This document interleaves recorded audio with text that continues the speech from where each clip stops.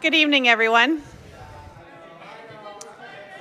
Welcome to the Jeanie Graustein Lecture on Environmental Justice. Jeanie was a leader in the area in the Archdiocese of Hartford, especially through her work in the Office of Catholic Social Justice Ministries.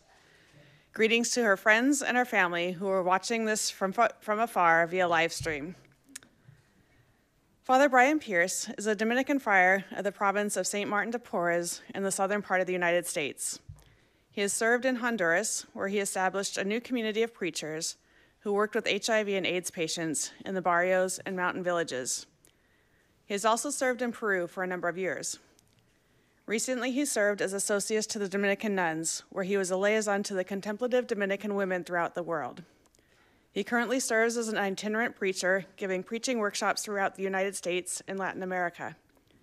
His books include We Walk the Path Together, Learning from Thich Nhat Hanh and Meister Eckhart, Praxis y Predicación, and Jesus and the Prodigal Son. Please help me to welcome Father Brian Pierce as he addresses the topic clay, breath, and flowing river.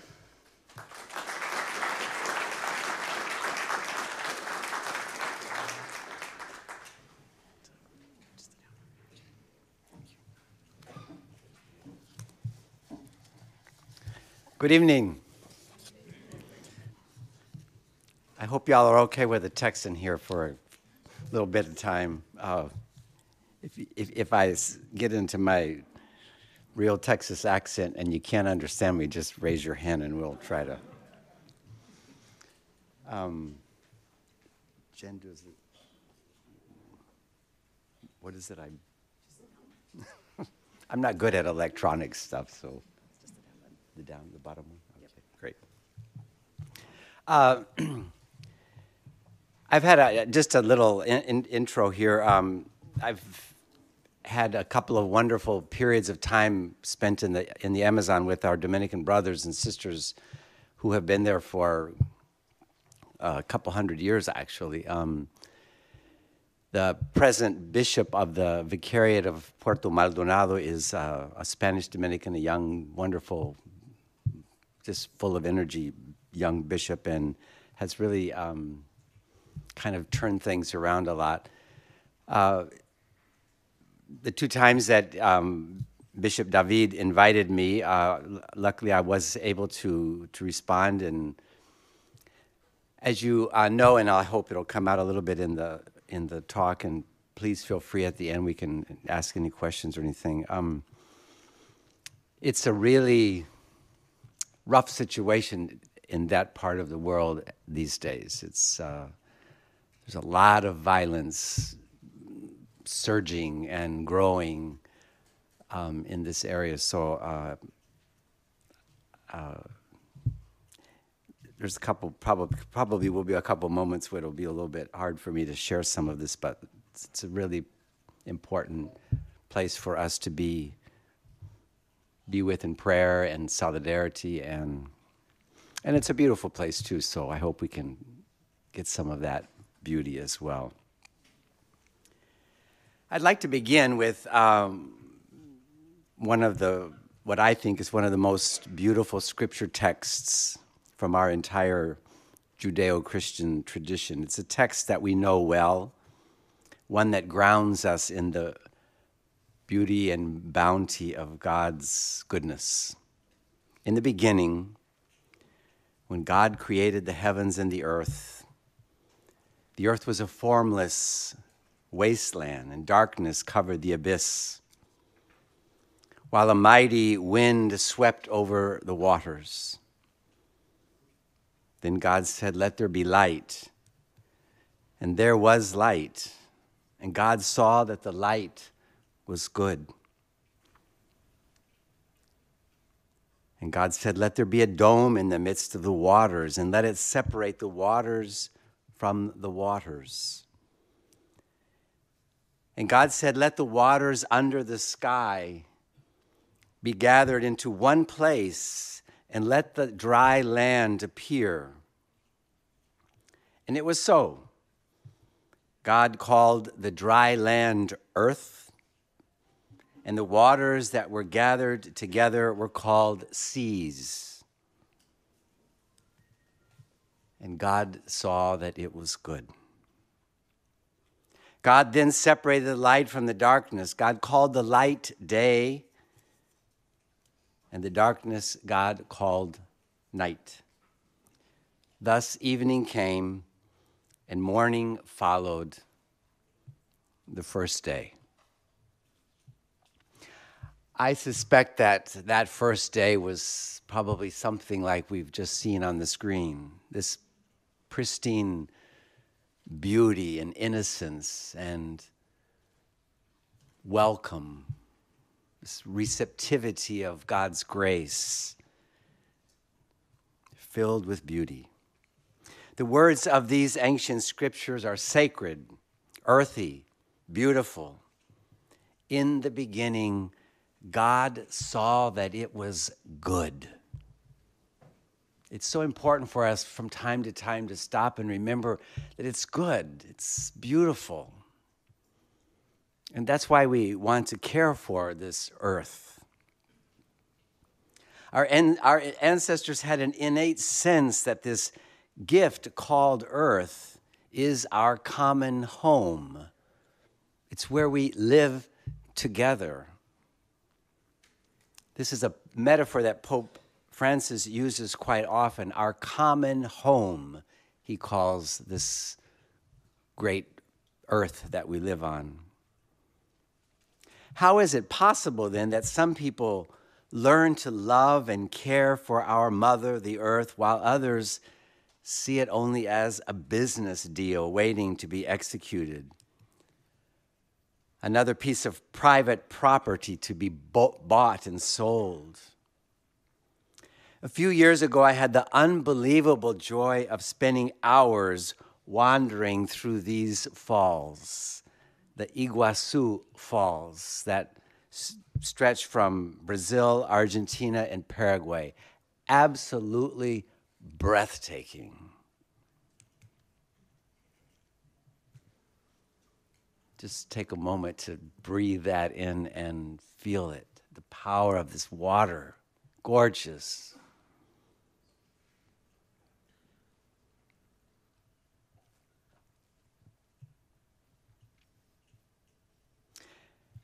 How is it possible that some people learn to love and care for this earth, our common home, while others see it almost instantaneously as a business deal, something waited to be executed, another piece of private property to be bought and sold?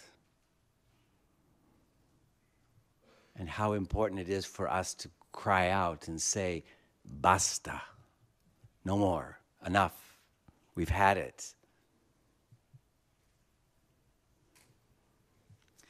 These pictures of the Iguazu Falls stretch from Brazil, Argentina, and Paraguay. I took these pictures with a tiny little camera. That was a few years ago, by the way. I think I have a gray hair or two more since then. How could anyone look at that beauty and not almost want to fall on their knees? I don't understand. And how anyone would ever want to destroy and pollute these waters is beyond all imagine. But it's there, it happens. I remember standing in utter wonder and bliss as these waters cascaded in magnificent grandeur, like ballet dancers or ice skaters skating in tandem. I remember the feeling as if I were watching God create the universe for the very first time. It was clearly one of the most unforgettable natural wonders of the world that I have ever experienced. I remember the day I spent in these beautiful waters. I remember a couple of times of having this feeling like I should get on my knees. There was something so powerfully sacred about this place. I just leave you for a moment to just contemplate this beauty.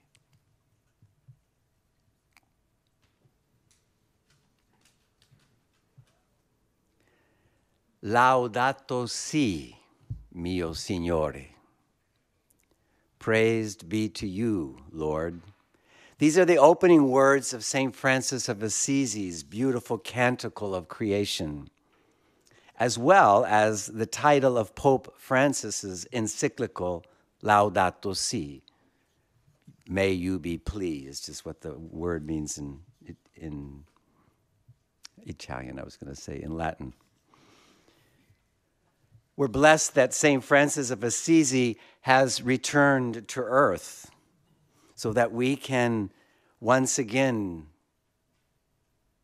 get busy to what we need to be busy about. Francis of Assisi has returned to bless his soulmate and namesake, Francisco, Francesco. Both of these saintly disciples, Saint Francis and Papa Francisco, are saintly disciples.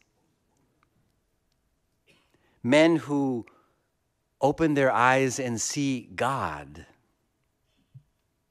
Their hearts are as beautiful and as green as the Amazon jungle, filled with forests and rushing rivers, jungles and bright colored birds.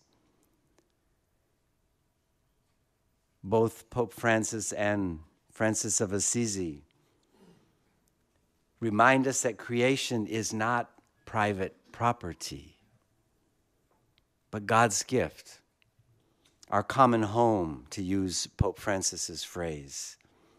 It's a home that we share with the whole universe.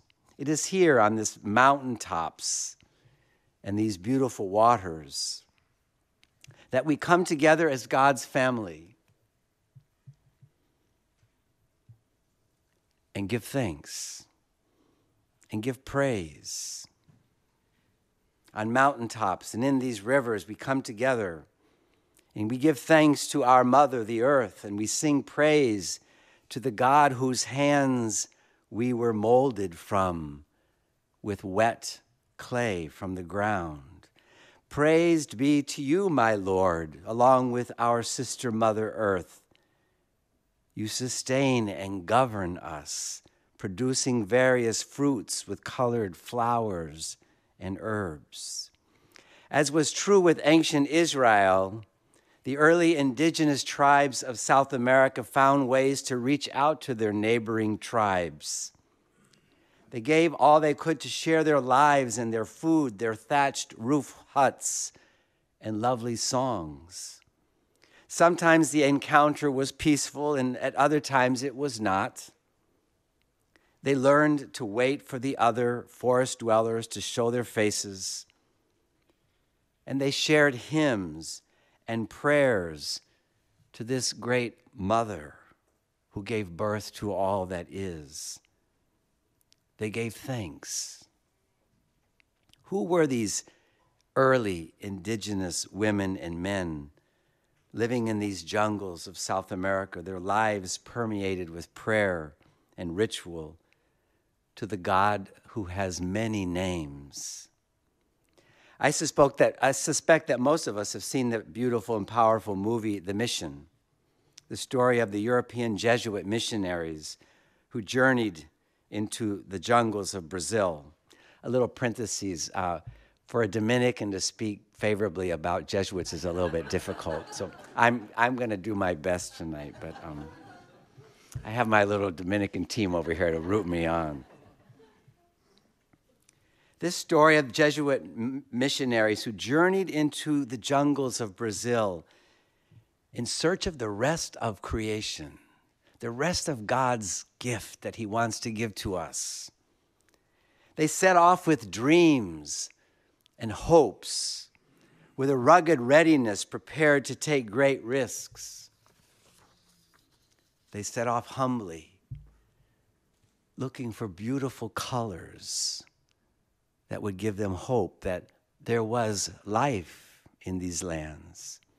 They not only stumbled upon beautiful lands and rivers, they encountered other human beings as well forest dwellers, children of a living God. When they did actually come face to face with the native communities, they did what human beings do naturally. They shared nuts and fresh fruits, greetings, songs, dances.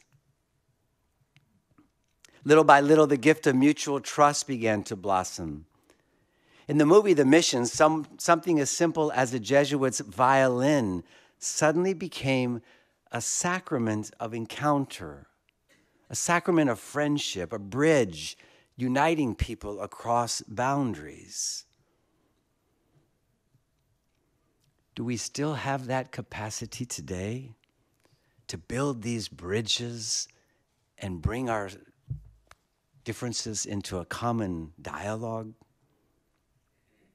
Human hearts open when we do this, and strangers experience a u- unique kind of holy communion. Music and the sharing of food gently bring down barriers as God smiles upon us. These next few uh, slides are from um, some of the places in the Amazon where I was. These, I took most of these pictures. These people are absolutely beautiful, in, innocent. They open their hearts to strangers and welcome one to come and cross the boundaries into their lands. Music and the sharing of food gently bring down the barriers as God smiles on those who gather on the banks of these massive and beautiful rivers. Simple gestures expended, extended to others have the capacity to open up human hearts. These are the pathways that have the capacity to bring healing to us in our world today. I played soccer with these little kids. These are pathways to opening doors through which so that the other is welcomed as neighbor and friend. Maybe the dream of world peace is not so far off after all. We can only imagine what the first Spanish and Portuguese sailors experienced as they stepped onto solid ground for the first time after months and months of sailing through unknown waters they suddenly found themselves standing face to face with indigenous men, women, and children. Their curious dark skin, their bodies painted with bright colors, extracted from native plants. And what about us today? Where, where are we in these pictures?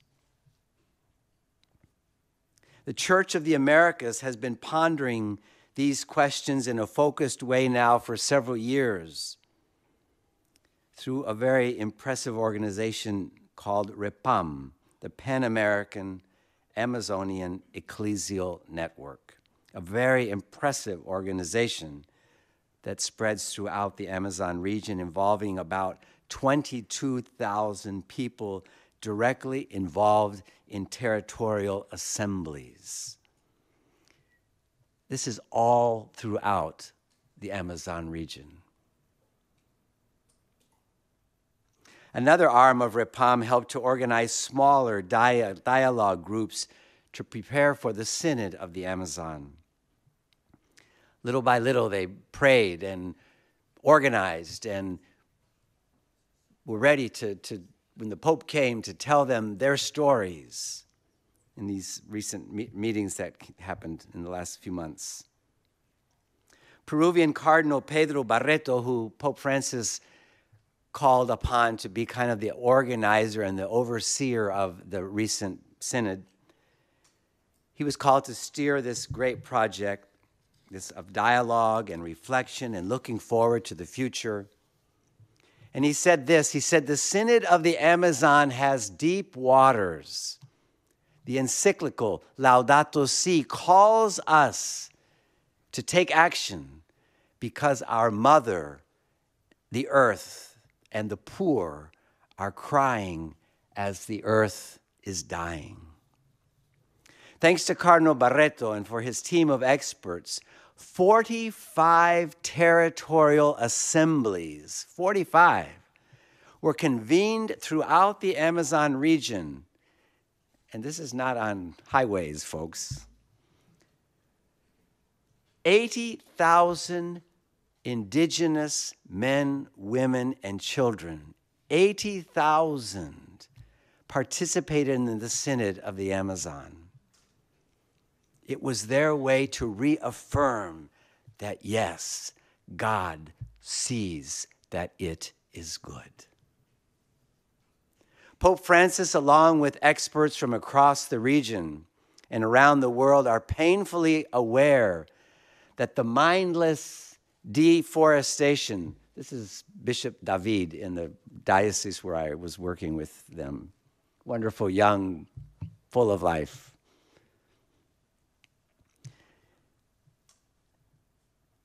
Excuse me, I got lost here. Um, 80,000 people participated in these different small groups, small communities throughout the, the region. Pope Francis, along with experts from across the region and around the world, are watching as this mindless deforestation just strips the, the, the jungle. Throughout this region, I want to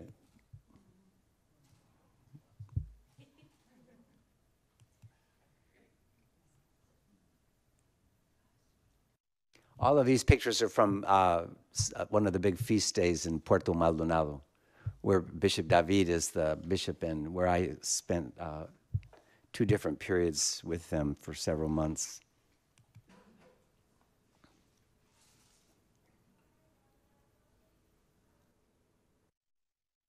The amount of illegal and unbridled exploration of petroleum and the constant use of toxic chemicals in the mining of gold and petroleum throughout the Amazon River Basin has already decimated 20% of the lung of our beloved earth.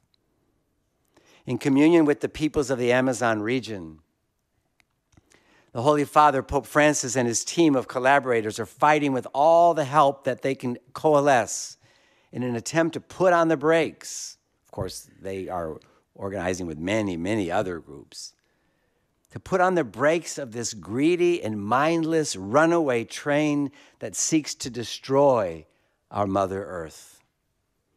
This journey into the jungles of South America is about as is, is about much more than just saving trees from destruction, which is a very important thing, of course.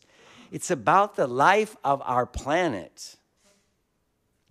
It's about caring for this beautiful and immense universe that is a gift to us. Pope Francis constantly describes the encyclical Laudato Si as the deep waters of God and what God is asking of us for the evangelization of the Amazon region. There is one overriding goal behind this entire effort to honor the gift of God's creation and to be a support for the inhabitants of these lands.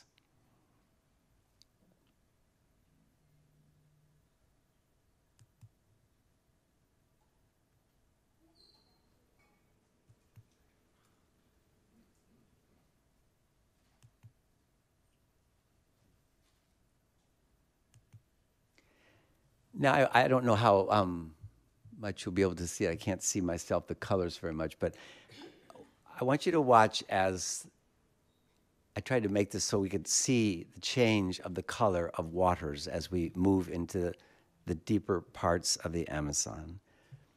I'm going to, does that go back? So look at this beautiful water here. This isn't one of the Amazon rivers. It's not the Amazon River, but it's one of them. It's, it's right in, goes through the town of Puerto Maldonado. Now, can you, can you begin to see the yellowish colors? I, I can't really see from here, but sort of uh, beige yellow colors. I'll continue and we'll point out this in a little bit. Pope Francis constantly is calling us back to this, to inviting us to go deep into these waters of God, asking the questions that need to be asked so that we can honor the gift of God's creation and to be a support for the inhabitants of these lands. For this effort to become a reality, we must be prepared to heed the words of the early, the early prophets that it is time for us to beat our swords into plowshares and spears into pruning hooks. One nation shall not raise the sword against another, nor shall they train for war again. In place of petroleum rigs and gold mines, that's what these are. So, brothers and sisters, this area, and there's several slides now that are coming up. This was once a huge forest, what you're looking at right here, a huge Amazonian forest. And you already can see it, it gets a little worse here in a minute. But all of this is where they are either mining for petroleum, looking for petroleum, for gold, for silver, or whatever else. And so they, they dig it up, all of the, the, the gold mining is done through chemicals. And so all of these waters are now completely polluted with chemicals that they use to find the gold in the rivers. In place of petroleum rigs and gold mines, they've turned the Amazon sacred rivers into black and mustard colored pools of death and destruction. It is time for us, sisters and brothers, people from all walks of life, to experience the healing of the wounds that these people are causing. We call ourselves Christians, and we need to join hands with non Christians and non believers, sisters and brothers who are passionate about caring for this earth. The Synod is time to break bread together, to share our fish and our corn with one another You can see the color here. It's poisoned water. We must be engaged in truthful and respectful dialogue. We must not forget the years of violence that have left deep wounds in the heart and soul of our indigenous and African brothers and sisters who inhabit these continents. This was a forest, a, a beautiful Amazon forest. It's time for us to stand up and to reach out and bring healing to these rivers, healing to our people and to our earth. It's helpful for us to remember that in the midst of the bloody Spanish and Portuguese invasions into the Americas, there were small contingents always of enlightened men and women who had the mindfulness to contemplate these beautiful lands and their inhabitants through the, inhabitants through the eyes of God. The Portuguese mariner Pedro Álvares Cabral, who died in 1520, was an early explorer to what is today Brazil. And he's remembered as a man who went out of his way to treat the indigenous inhabitants that he encountered with great kindness, receiving them on, his, on board his caravel. Though greed and power were the engines that drove much of the interest in these lands on the other side of the world, we must remember those who came responding to a deep call from within the human heart. It was not greed for everyone that drove these early mariners and missionaries. For many of them, it was the love of humanity, burned, a, a, love that burned in many a heart mixed with the utter fascination with God's beauty and creativity. Yes, there was a lot of greed and a lot of lust for gold and money and riches. Another poisoned river. About the same time that the Jesuits were befriending the Guarani Indians in, the, in, in Brazil, my Dominican brothers and sisters, Bartolome de las Casas, Antonio de Montesinos, Pedro de Cordoba, and Luis de Cáncer were reaching out to the indigenous peoples in the islands of the Caribbean, opening up a mission of hope and healing. As we ponder these stories, we must not forget that in God's heart, There's room for all of humanity.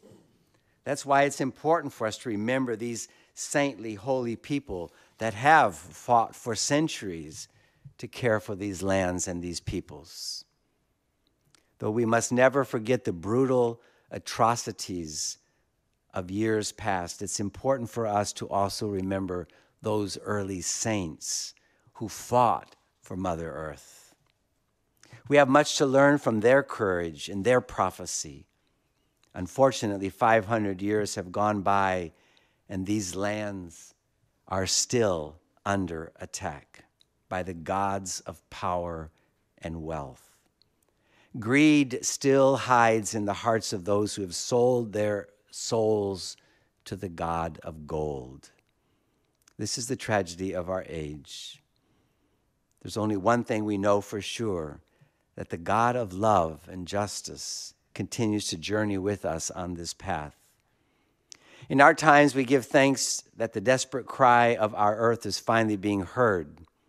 Pope Francis says, Those who criticize our outreach to the poor are on the shore. They're not in the boat. The boat is the church headed for an ocean of love, justice, and peace, says Pope Francis. Those who stubbornly remain on the shore, he says, want a static church where nothing ever changes. In his closing address on October 27th of the Synod of the Amazon, Pope Francis noted that the Synod had offered a pastoral, spiritual, cultural, and ecological diagnosis of the region. This is what's left behind when they've finished mining for gold. The future of the Amazon is linked to the future of our world. Canadian Cardinal Czerny went, up, went so far as to say, if we don't change, we won't make it.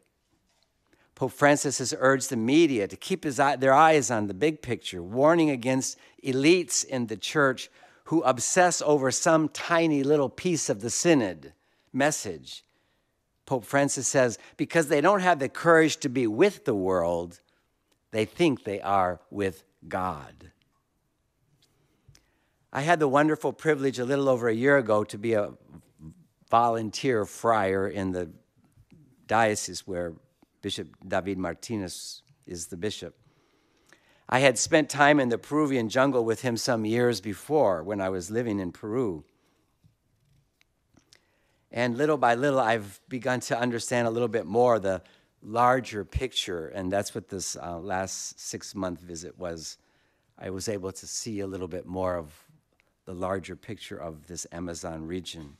It's a very complex reality, as you might imagine but it is an important place for the church to stand up and speak its truth. I arrived last year to the Vicariate in Puerto Maldonado just as Pope Francis was heading home after his historical visit. There was a wonderful mission buzz and a tangible apostolic joy in every nook and cranny of that vicariate. uh, I wanted to put this picture in here because this is Gustavo Gutierrez, the, the father of liberation theology, one of the greatest theologians of our time, and uh, a dear friend and a wonderful mentor. And that's his, uh, one of his scribes that helps him now put things together. Beautiful human being, Gustavo he's, he's considered the, uh, they call him the father of liberation theology. So after the Pope left, uh, these, the, the, the streets were just full of, of people celebrating this gift that the Pope had come to see their land, to see their rivers, to see their poisoned rivers. Cardinal Barreto, the Archbishop of Huancayo, reminded the Synod participants to enter the Synod is to enter into the Amazon River, he says.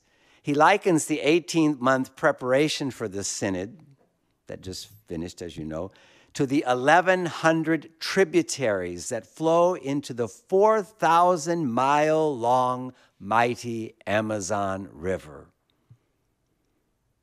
That's a lot of water, folks. 4,000 mile long Amazon River. This is St. Martin de Porres, by the way, our beloved Dominican saint. Peruvian brother who was the son of a Spanish father and an African mother. Beautiful, holy man. Cardinal Barreto says, We're in a boat in the Amazon with a slow but good rhythm, aware that some are quite critical of this synod. One can hear criticisms from people that are on the riverbank, but they never get in the boat. They can shout and they can insult with sophisticated microphones, he says, but they will not change our course. Cardinal Barreto recalls the pivotal role that Cardinal Bergoglio, now Pope Francis, played at the Aparecida gathering in 2007. This is a small indigenous community here. As we know, the Spirit blows wherever it wants, and when the newly elected Pope chose his name, Francis, as his spiritual namesake for the next part of his journey, the world and God's fragile creation danced with joy. In his homily at the Mass of his inauguration on March 19, 2013, Pope Francis made it very clear that the protection of God's creation would be a major priority of his pontificate. And it is clear that Francisco has kept his promise. Longing to learn more about the Amazon region and its multiple, multiple realities, I was invited over a little over a year ago to participate in several workshops organized by REPAM in the town of Puerto Maldonado. I quickly began to understand the urgency of bringing the truth of the Amazon's precarious beauty and natural resources to the world's attention. It's important for us to point to this beauty that must be taken care of and cared for. The fragile situation of the indigenous peoples in the Amazon basin itself cannot be emphasized more forcefully. That's Bishop David with this wonderful indigenous man in one of the villages that we visited. And though some still choose to close their eyes and live in a world of plastic, the truth is the life of the Amazon is directly connected to the survival of our planet, our common home, to use Pope Francis's phrase. To protect the Amazon is to protect the earth. The Amazon is magnificent and fragile at the same time. A few months ago, Jessica Patiachi Tayori, a teacher and member of one of the indigenous communities, the Harakbut indigenous community, they were forced into slave labor many years ago. And were this, this uh, tribe of indigenous people, the, the Harakbut, and over a, a number of years, uh, they, had, they, they, were invaded uh, illegally to mine the rubber trees that were in that part of the jungle. Uh, let me just forced into slave labor and murdered by the thousands after the illegal invasion of their lands by rubber companies decades ago. The Harakbut once numbered as 50,000 members, inhabitants of that particular tribe have now been reduced today to less than 1,000. From 50,000 inhabitants of this tribe, today they have only 1,000. Mrs. Tayori made a direct appeal to Pope Francis when he was in Peru recently to please bring their story to the international courts so that her people could bring their story and tell it to others. They're faced daily with threats and violence and might not be able to even live on the land that the little bit of land that they have. we have to ask ourselves what are we doing? Are we not all God's people, formed by the clay of the earth?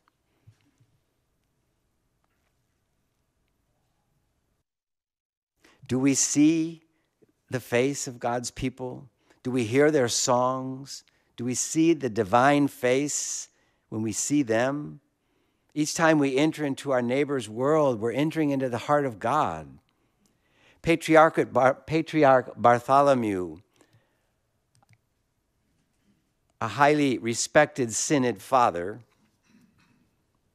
from the Eastern Church, he was uh, present at the synod, Patriarch Bartholomew, said the following He says he has spoken in particular of the need for each of us to repent of the ways that we, each of us, have caused the planet's disfigurement and destruction. Pope Francis has repeatedly stated this firmly and persuasively, challenging us to acknowledge our sins against creation. For human beings to destroy, for human beings to destroy the biological diversity of God's creation for human beings to degrade the integrity of the earth by causing changes in its climate, by stripping the birth of its natural forests or destroying its wetlands, for human beings to, come, to contaminate the earth's waters, its land, its air, and its life, says Patriarch Bartholomew, those are sins. For to commit a crime, he says, against the natural world is a sin against ourselves and a sin against God. This is a little uh, rural school that we just happened upon one day, and they were practicing their little preparation for the Independence Day of their. So they were all dressed up. The Amazon jungle home is home to nearly half a million indigenous people from 20 different nationalities. It's one of the most biodiverse places on the face of the earth, and yet it is vulnerable to brutal industrial exploit- exploitation with irreversible global implications. When Brazilian President Jair Bolsonaro took office in January 2019. I'm sure you're familiar with that name and probably saw some of the pictures of those, those uh, Brazilian forests burning like crazy.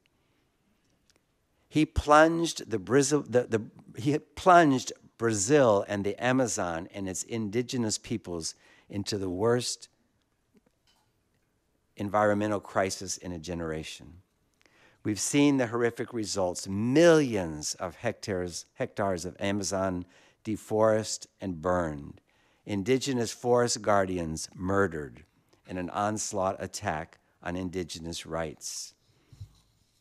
In the small city of Puerto Maldonado, where I lived for a while, four blocks from our small Dominican community on the edge of the Amazon jungle, I have often counted 10 to 20 huge lumber trucks, 10 to 20 a day, each of them carrying several tons of trees right through the middle of this tiny little town, truck after truck after truck after truck, each of them carrying tons of huge trees cut down. They pass by police officers. It's all illegal. And they just ride right down the middle of the town, taking these to the, to the ocean where they're going to then put them on boats. I would see these trucks going through town every day. And so one day I asked somebody, I, I, as, as one of these trucks was rolling down these tiny little streets, they're, they're huge. They, they, they carry tons of trees in one of these trucks. And I said, Where do they do with all this stuff? Where are they taking it? And this per- person looked at me and he said, Todo va para la China. It's all going to China. Peru, as many of you may know, is home of the fourth largest rainforest in the world. In fact, half of Peru's land is classified as forest, the vast majority of which is in the Amazon basin.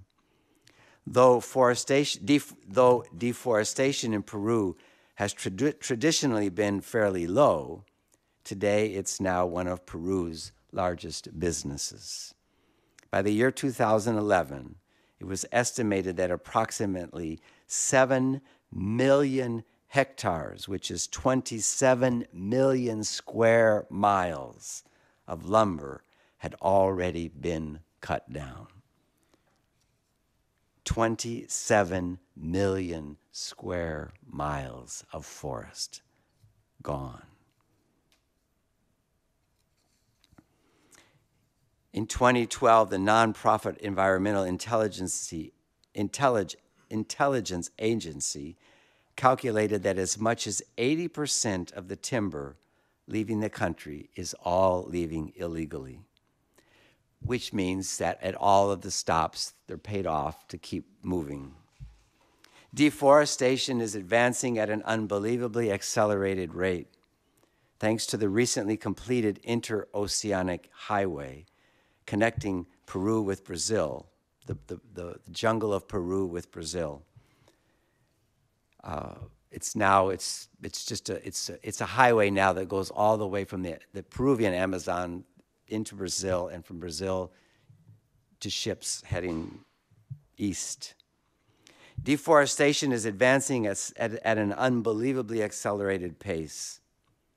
The Amazon, Amazonian tribes are, are almost indefensive in, with these, this, this great amount of power and with the cooperation of, of local police officers who are paid off, soldiers that are paid off at the, at the border crossings. It's, it's almost impossible for them to stop this.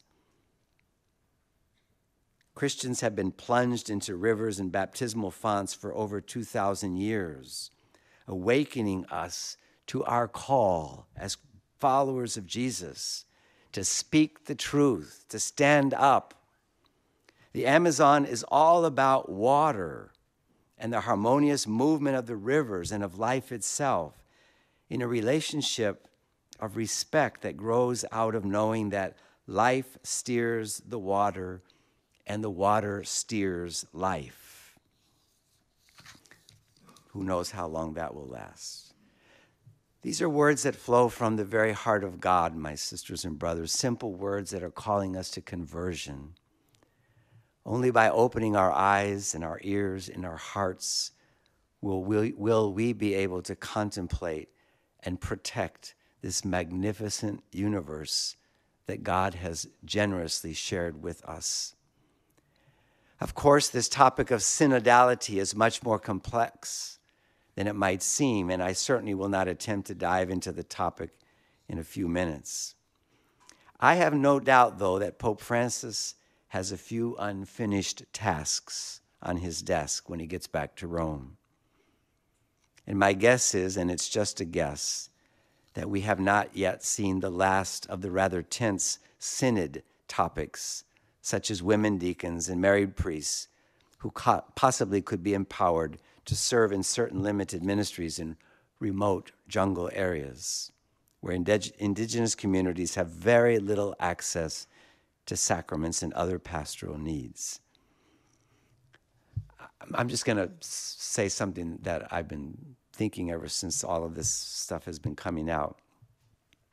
You know, at the very end of the synod, Pope Francis made this decision to not go forward with those two very kind of risky things, which were the the ordination of married men who could help with masses throughout the and ordaining women deacons.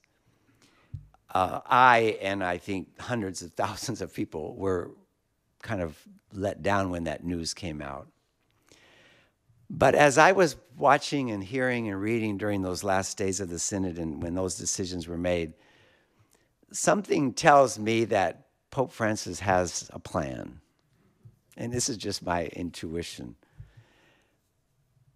I think he I think he pushed it as far as he could push it this time.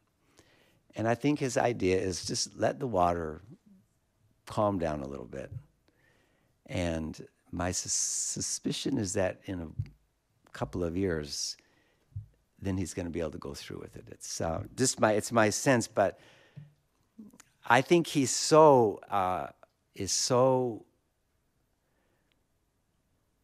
passionate about reaching the poor in this huge area of land with the sacraments, I think Pope Francis has got a plan, and I'm not sure what it is. He hasn't asked me to give my ideas, but um, but anyway, I say that to. I, I was I, I, was depressed for two days after that, that decision was made that he wasn't going to do that. But then I watched a few of the things that happened in those the next couple of days after that, and some of the things that were were being written, and they were saying, and I just had this sense that Francis has his plan, and this Cardinal Barreto, who is just fire, um, is right next to Francis, pushing him. So I think I have hope. Those who live in the margins of these poor, broken parts of our southern brothers and sisters have a lot to teach us. They are telling us something about what it means to be amazed by this ever renewing voice of the Spirit. And how important it is for us to trust, to follow, to be with, in solidarity with. We are being reminded that it's from the periphery, the margins, that Christ makes his way into the world today, in the midst of all these tensions and contrasts. Pope Francis speaks of a process in which the periphery illuminates the center.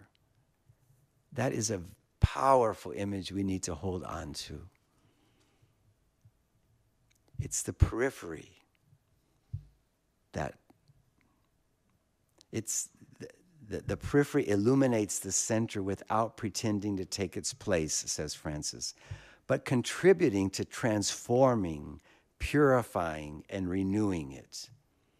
In the end, says Francis, it's the poor of spirit who will teach us the way to God, reminding us how to see and how to listen, to be amazed at the ever new voice of the Spirit.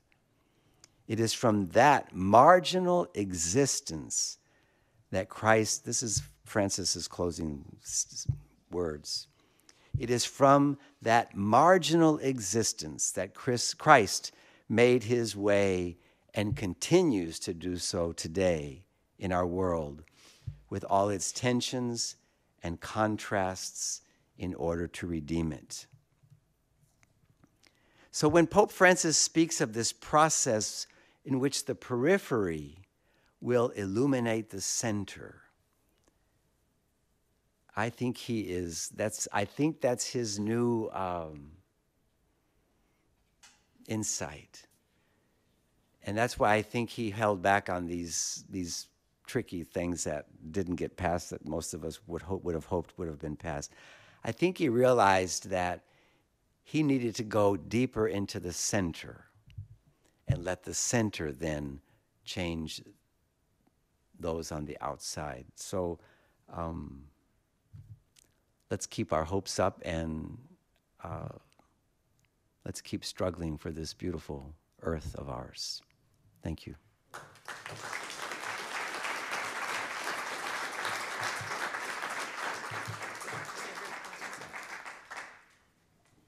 Thank you so much, Father Brian. We have time for a few questions. Um, to begin with, how do you keep paying attention to the periphery? Because I know you've been in several different places, and especially now that you're back in Texas and not in the Amazon or Peru or Central America, how do you keep paying attention to that periphery? Well, I, I suspect that you all have know the answer to that. Um, the periphery is everywhere, and the center is everywhere. Um, I think it's about living with our eyes open and our ears attentive and you know i mean just in these couple of days i've been here I, what what what this university is doing and sending people out into these places and uh, touching the poor and being with the poor. So I think uh, we have to just get out of the center and get out to the peripheries. And I mean, I, I, think I'm speaking to the choir here, so um, singing to the choir, whatever. But we, I, I, I would say in a in in a in an environment that you're most of you are working with young people. Um, I think that's the great challenge. Let's let's get these young people out to the peripheries. And again, I know I think this is a school that that's a pretty common theme, but our churches need to do that, and and you know, places like Irving, Texas, where I live, need to get into the center a little bit more. Um, and listen to the, the voice and listen to the cry and looking at the faces. And that's how it happened to me. I, I, I didn't say this at the beginning, but I was a foreign exchange student at age 17 in Peru. Um, I didn't have any choice of, of what country I was going to go to. I was sent to Peru through the AFS program. And I, and I lived in Cusco, the most beautiful city in the world, if you ask me. And it was the face of indigenous people carrying huge amounts of weight on their shoulders and walking through the streets big,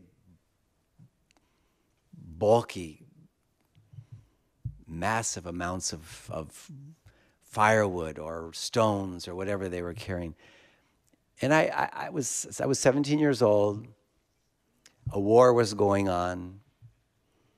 Uh, the day we arrived in Cusco to begin our, our months as foreign exchange students, we were told that there was a, um, what do you call it, where you,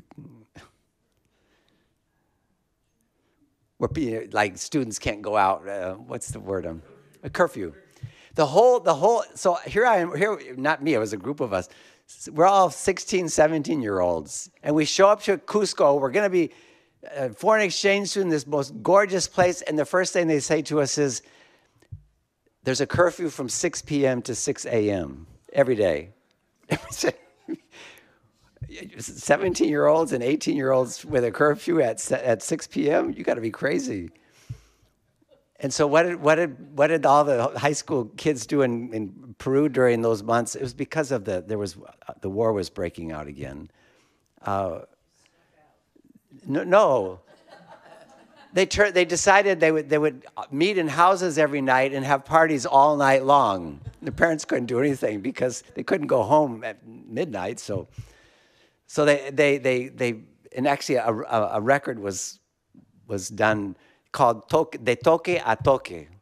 Toque is, is like the, the, the moment. So from, it means from the beginning of the, of the evening to the end of the evening, De Toque a Toque. So they found their way to, the, the youth found a way to dance all night in a time of, of curfew. That's not the most important information to them.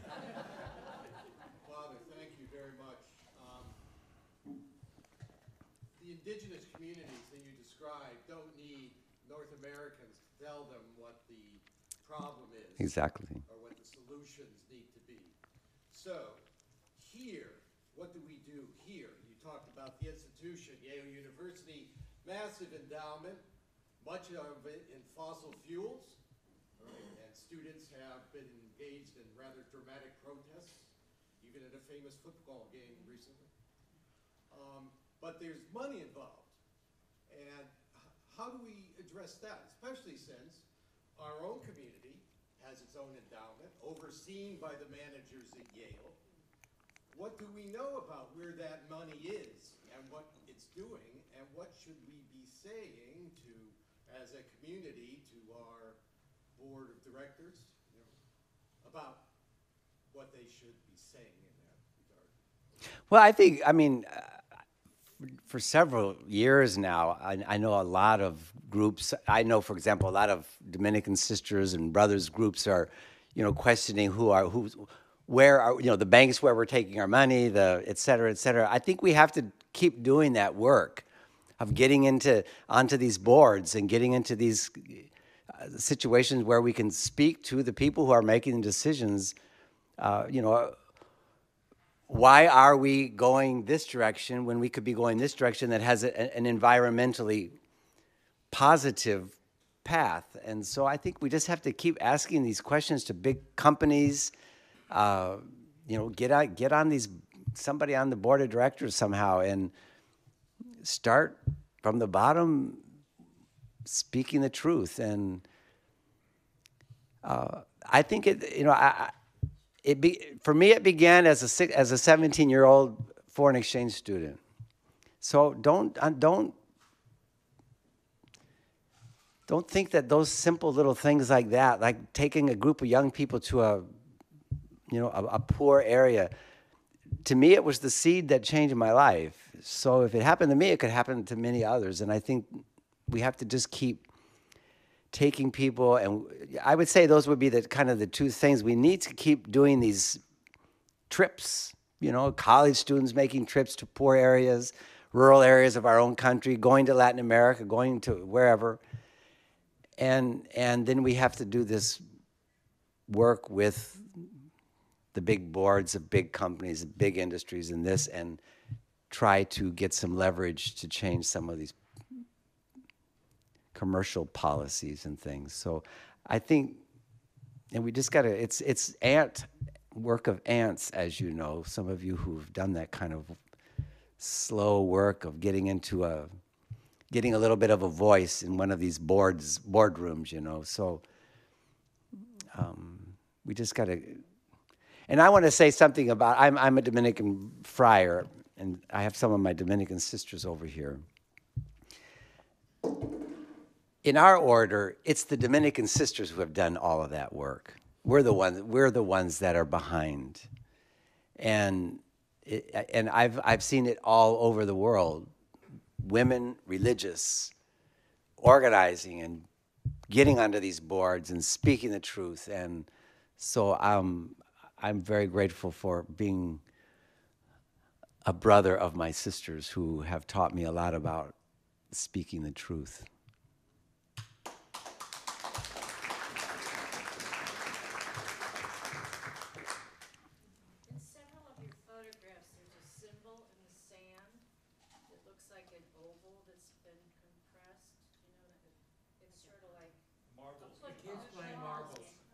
Oh, that was the, the indigenous kids playing marbles.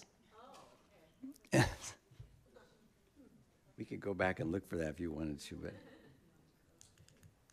they have a particular spirituality, the people Oh, this is kids at, at one of their schools here, by the way.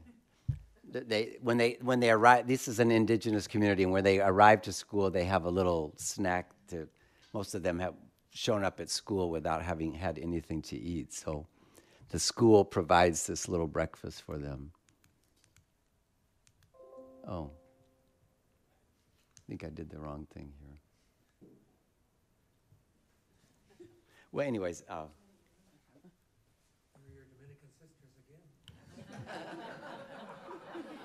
we'd be lost without them, so.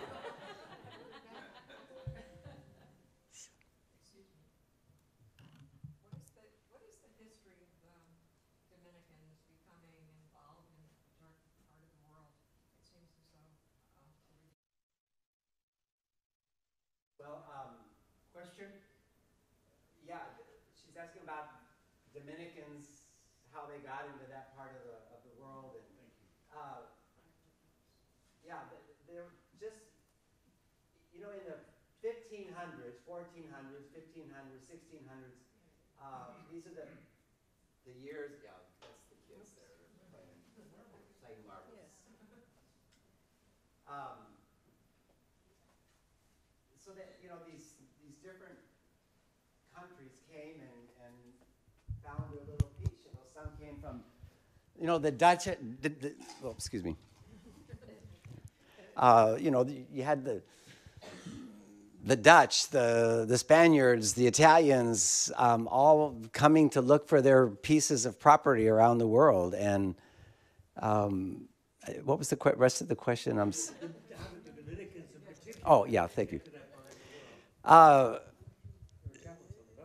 yeah, well, okay. Dominic was a Spaniard, and that's where the order was born. Uh, the Spaniards, as you know, were some of the first ones to come to these lands, and so very early, the Spaniards and the Portuguese were the the first countries to take to, to take these big trips in, to the to the Americas.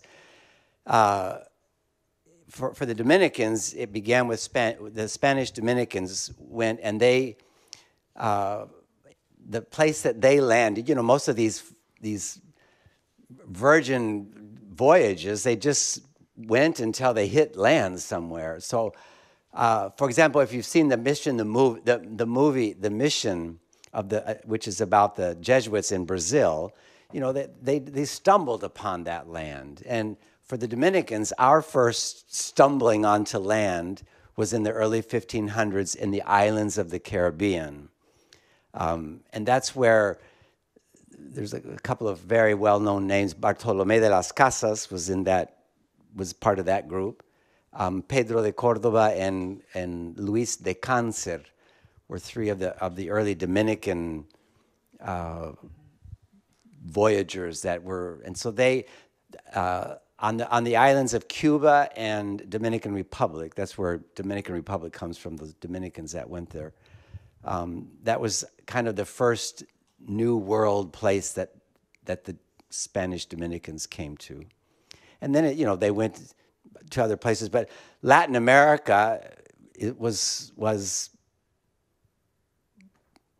how would I say it was brought into this world through Span- Spaniards, and and and they, that's why Latin America is Latin America, and the piece of it that isn't Spanish speaking is uh, Portuguese speaking. So the it, it, it was all about which country landed at which place, you know. So.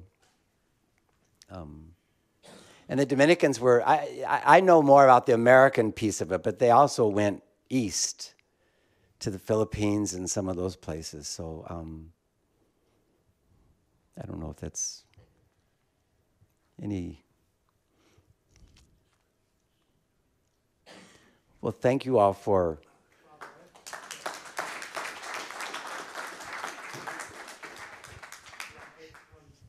quick question, I don't know if you know anything about this at all, but, um, I just spent some time in, uh, in Congo, and the problems you were describing in the Amazon are very similar to what's happening in Central Africa, the other large rainforest in the world.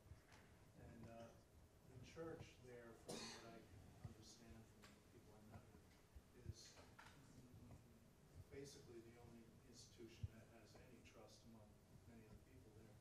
And I wondered if there was any uh, comparable environmental effort by the church in Central Africa.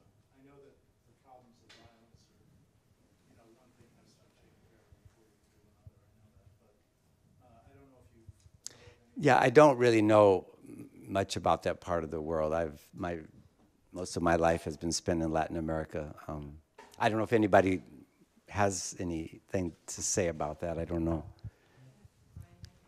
Yes, thank you. I think that in the Democratic Republic of Congo, in particular, the Dominicans are more concerned with trafficking and getting children off the streets and helping women. Um, I haven't heard as much about environmental kinds of things. That was my impression, that those issues of just human safety are uh, not anywhere close to being solved. Well, thank you so much, Father Brian, and thank you for all of you for being here tonight. Thanks for an enlightening lecture and beautiful pictures of the Amazon.